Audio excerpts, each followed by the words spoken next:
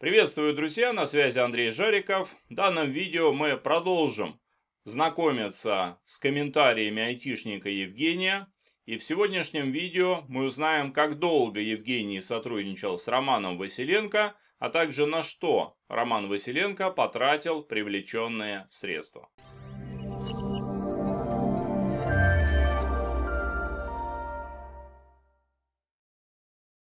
Евгению задали вопрос, как долго он участвует в проектах Романа Василенко.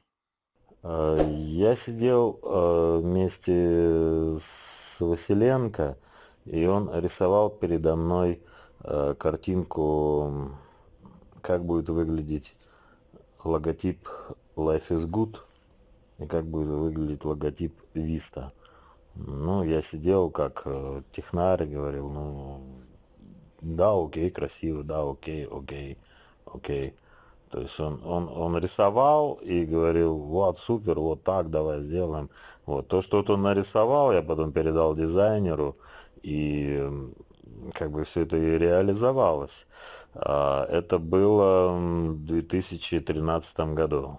Итак, по словам Евгения, он участвовал в разработке проектов Романа Василенко буквально с самого начала – даже помогал разрабатывать логотипы, и по его словам это был 2013 год. То есть, по всей видимости, в 2013 году велась подготовительная работа, а в 2014 году уже состоялся запуск. Евгению задали вопрос, есть ли шанс получить от Романа Василенко возврат средств. А, вы можете лично встретиться с Василенко, если его найдете где-нибудь в Лондоне. Э, у какого-нибудь э, бунгало, там, я не знаю, э, пабе, в пабе каком-нибудь, поговорить, договориться, и он вам выдаст эти деньги. Да, так возможно. А так, в другом случае, просто нужно ждать решения суда. После ареста его имущества будет все распределено, разделено, продано и превращено в денежную денежный эквивалент и э, переведено пострадавшим. Ну, это как вот мне сказали, как я вижу. Что касается имущества Романа Василенко в России, в принципе, оно действительно может быть конфисковано, и из этих средств инвесторам может быть выплачена компенсация. Но что касается средств и имущества, находящегося за рубежом, то здесь у меня большие сомнения, потому что решения российского суда не распространяются, соответственно, на Великобританию. И учитывая текущую а, ситуацию между Россией и Западом в целом, я сильно сомневаюсь, что британские власти захотят кому-то выплачивать какие-то компенсации. Следующий комментарий такой. Роман все продумал с самого начала, он выйдет чистым, пострадают пешки. А, уж поверьте, я тоже пострадал, а, достаточно очень сильно пострадал в этой ситуации. И я не оставлю это так, и он пострадает тоже. У меня есть инструменты, ресурсы, которые позволят ему тоже пострадать. И пострадает он очень сильно. И я думаю, что если другие люди тоже не будут э, покладать руки и что-то делать, то этому человеку просто, ну, грубо говоря, если так русским языком изъясняться, совесть не позволит э, так дальше жить. Он начнет просто отдавать деньги. Если вы помните комментарии Евгения в предыдущих видео о том, что на счетах Виста много денег, по его мнению. И вот на его комментарий ответили, о каких счетах Виста идет речь. Много денег, которые передавали консультантам, а в кабинете рисовалась внутрянка. Вот что отвечает Евгений. А, смотрите, до середины 2021 года как бы проблем не было. Был а, банковский счет, а, деньги переводились, заводились и выводились. После того, как э, начались проблемы, э, начались, э, значит, началась проблема с выводом и сводом. То есть тут э, пошла в тему внутрянка, да, а внутрянка что в нашем понимании? Это передаются деньги наличкой э, и заводится. Плюс еще биржи.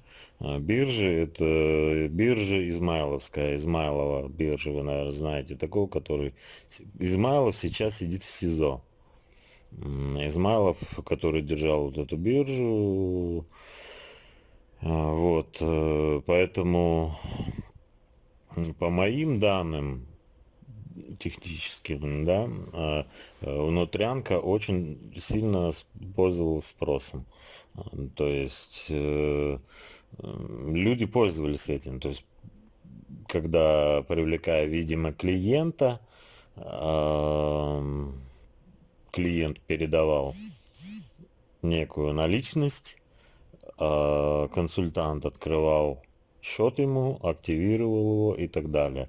То есть все это шло неофициально, якобы, ну, по сути дела, да, э, наличка была на руках у консультанта, консультант, э, у, у клиента был счет.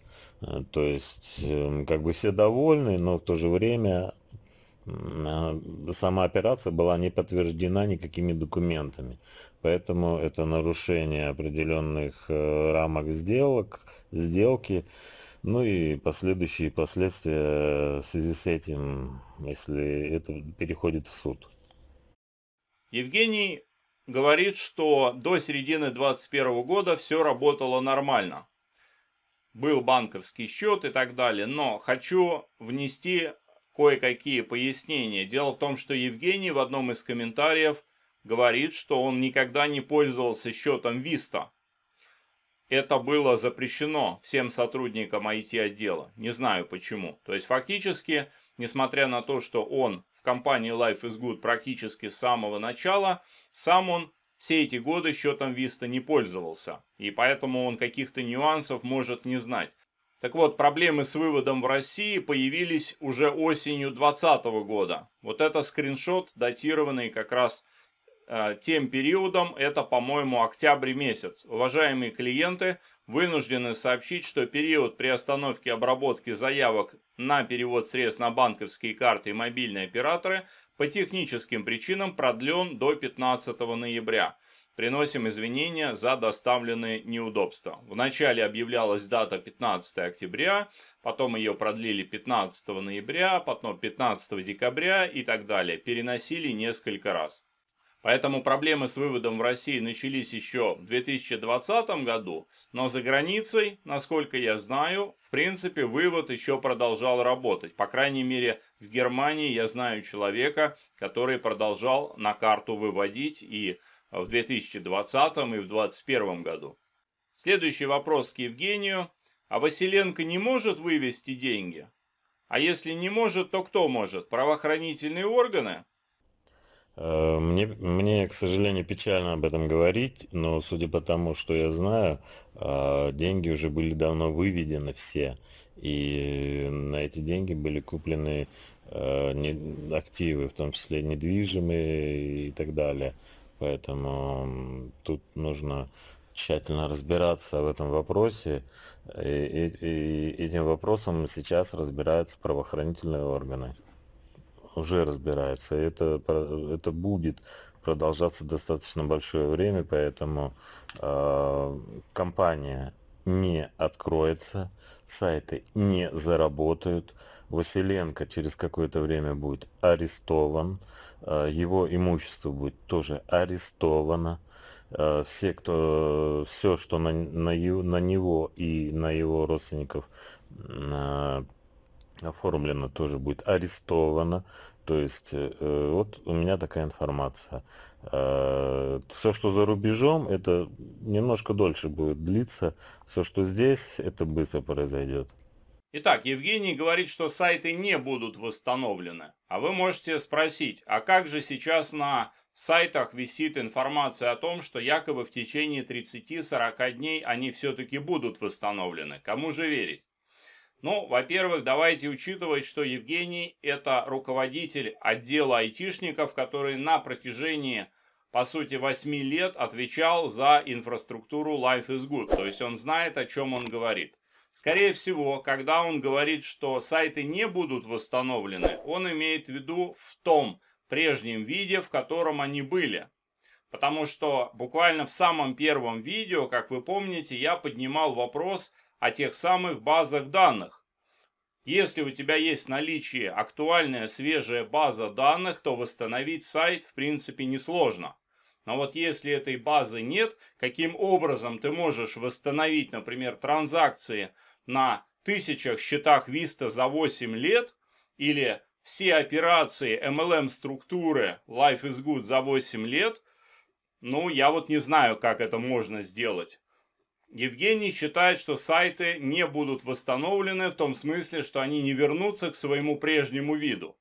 Если Роман Василенко и айтишники, которых он нанял, хотят сделать какие-то новые сайты, ну хорошо, пусть сделают. Только опять-таки возникает вопрос, если вы на такой сайт зайдете, а увидите ли вы ваши старые операции? Потому что если нет баз данных, в которых все это записано, откуда возьмутся все вот эти записи? Следующий вопрос. На что Роман Василенко потратил привлеченные средства? А если взять БСТВ и Гермес, то там получается а, порядка четырех с половиной миллиардов рублей. А, чистую сумму я не могу сказать, но то, что куплено за полтора миллиарда рублей коммерческая недвижимость плюс жилая в центре Москвы в одном здании, плюс два торговых центра в Лондоне, плюс огромнейший дом с тремя гаражами, премиум машин. Это, ну и то, это еще не до конца вся информация. То есть я думаю, это те деньги, которые вы влили. То есть, э, если бы это был чистый доход его, э, этого нельзя было бы достичь. А, то есть, ну, максимум он бы имел, ну, хороший, большой, красивый дом и красивую машину. Но то, что у него сейчас, это просто он брал эти деньги и э, ваши деньги, которые должны были идти в инвестиции, э, либо на покупку квартир, они шли напрямую ему в карман, в руки. То есть он пользовался ими. То есть это то, что я понимаю, то, что я ощутил, то есть э, после того, как э, мне прочистили мозг в правоохранительных органах. Э, я две недели сидел э, в ГСУ, то есть э, мне показывали, рассказывали, кто он, что он, то есть я об этом человеке, оказывается, ничего не знал. Вот здесь важный момент. Евгений на протяжении двух недель изучал информацию в Главном следственном управлении ГСУ, которую ему предоставили.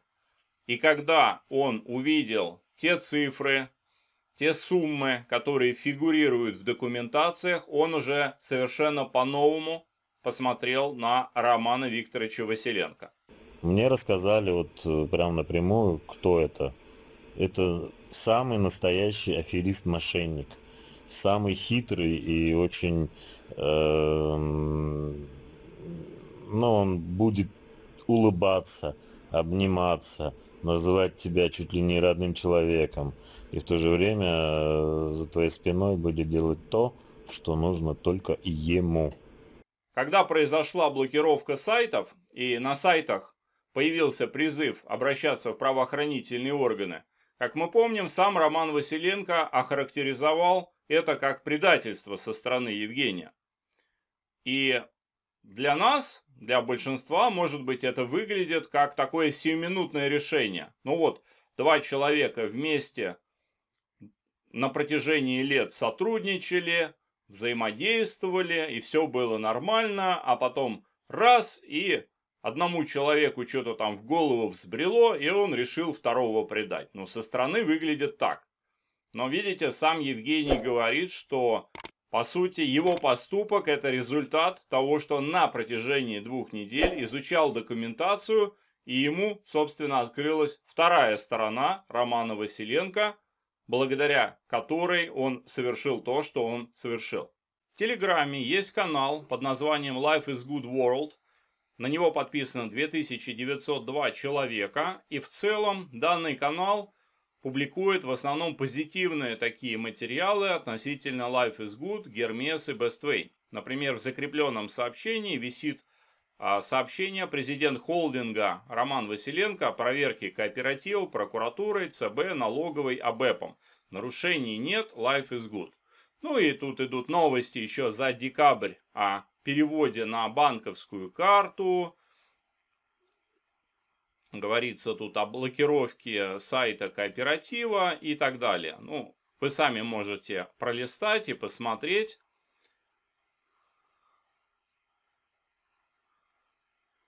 Вот, мартовские сообщения. Уважаемые клиенты и партнеры инвестиционной компании Гермес, на данный момент существует техническая проблема с отображением доходности. Это еще сообщение от 1 марта. Потом про 2 марта, 4 марта. И вот как раз это сообщение, которое, наверное, вы уже видели. Экстренное сообщение от директоров компании для каждого участника Life is Good. Пришло время донести до вас актуальную информацию.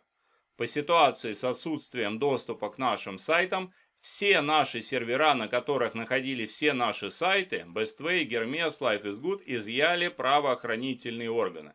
То есть это полностью согласуется со словами Евгения. Это не взлом никакой, не хакерская атака, это именно действие правоохранительных органов. Но я пролистаю дальше, опять же, здесь идут, э, идет от 5 марта сообщение, так сказать, что конкретно делается. А вот теперь давайте посмотрим сообщение от 7 марта. Я его прочитаю полностью. Дорогие друзья, коллеги и партнеры, мы с вами прошли долгий путь. С 2014 года мы вместе шли рука об руку, присоединяли новых клиентов и погружали их в прекрасную жизнь, покупая квартиры и получая доход с наших счетов. Наша компания развивалась огромными шагами. Мы проводили тысячи презентаций, сотни РБС, где рассказывали и показывали людям, как можно жить счастливо. Мы жили как одна семья. Роман Василенко собирал нас, проводил мастерские обучения, с которых мы выходили воодушевленные и окрыленные на новые подвиги. Мы переводили деньги в Гермес по инвойсам, и у нас была лицензия, и мы жили спокойно. Ну, были такие времена, подтверждаю, когда еще по инвойсам можно было заводить деньги. Были незначительные нападки от хейтеров, которые мы с легкостью преодолевали, укрепляясь при этом в вере в компанию и нивелируя неровности в компании. Я всегда был открыт и честен со своими партнерами и клиентами, я говорил им всю правду, они верили мне. Я верил вышестоящим, верил директорам, верил Роману Василенко на протяжении всего времени, пока не наступил четвертый квартал 21 и 22 год. Я пытался передавать информацию, которую мы получали максимально уверенно, чтобы моя уверенность передавалась клиентам. Я говорил, что наш президент смелый патриот, который за нас встанет грудью. Я передавал его слова о том, что warning list, то есть черный список на сайте Центрального банка, это недоразумение, которое закончится через две недели. Я говорил, что блокировка сайта кооператива – это из-за зависти банков. Я говорил, что нет никакого уголовного дела. Я говорил, что арестованные люди не имеют к нашей компании никакого отношения. Хотя я сам находился в обменнике Измайлова, я старался верить сам во все это и передавать другим. Мне, как админу канала, пришлось иметь общение с сотрудниками правоохранительных органов, которые подтвердили мои внутренние сомнения и рассказали, что всех нас может ожидать. Рассказали, что руководитель системного отдела компании Евгений Набойченко, здесь как раз мы узнали фамилию айтишника Евгения, Евгений Набойченко, это действительно он, а не как писали в наших чатах, нашли какого-то алкаша. Это он администрирует наш канал на ютубе, и все наши сайты отключены именно им по указанию следственных органов. Рассказали, что нет никакой модернизации серверов и сайтах, о которых мы также врали клиентам, рассказали, что сайты никто не будет запускать. Показали, что криптовывод, который недавно был организован, производился за счет тех, кого мы привлекали в последние пару месяцев. Мне их очень жаль. Они верили нам, а мы их обманули. Мы все старались верить Василенко, а он на всех нас обманул. Он уехал за границу, бросил директоров. Ладно директоров, он бросил простых людей, пайщиков, которых мы пригласили по его системе. А им сейчас платить нечем за кредит, который они взяли. Мама с детьми почти плачет, нет денег. Все, дальше продолжать верить нашим магистрам я не хочу и не буду. У Романа Василенко настолько выросла корона, что он забыл об истинной цели, которой мы шли в начале, и заставил забыть нас. Что делать сейчас, это решит только время и следствие по уголовному делу. Но отвечать за идею Романа Василенко, которую реализовывали я и другие консультанты, я не буду. Как помочь тем, кто в такое тяжелое время находится в кредите, который отнесли в Гермес? Единственный выход – брать каникулы, договариваться с банком, оформлять банкротство физического лица. Спасибо всем за время и сотрудничество. Я многому научился в Life is Good. Девиз хороший, Life is Good, пусть так и будет. Ну, во-первых, автору и админу данного канала хотелось бы узнать, как его все-таки зовут, потому что как бы он пишет «я-я-я», но его имя здесь не фигурирует. Я не знаю, может быть, подписчики данного канала так хорошо его знают, что им даже упоминание имени не нужно. Ну ладно. Я просто хочу что сказать.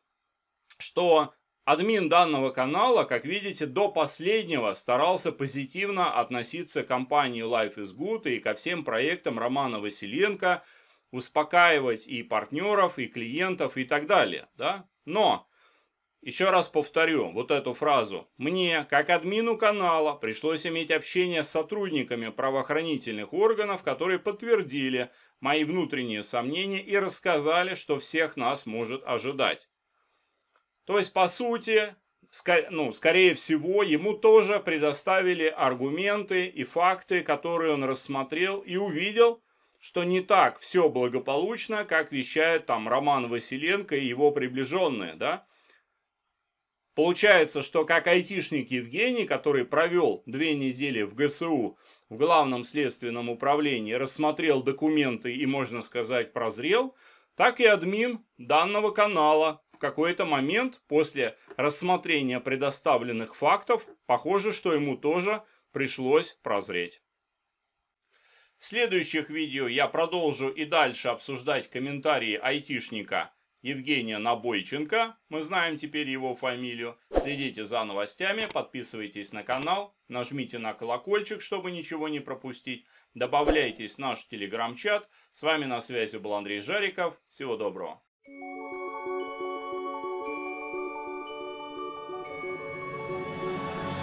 Global Star Club. Возможности безграничны.